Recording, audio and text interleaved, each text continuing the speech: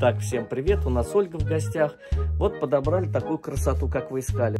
Такую шубку на каждый день, красивая расцветка. Тепло вам в ней, уютно? Да. Ну, отлично. Носите на здоровье, она вас будет согревать и украшать долгие годы. Спасибо.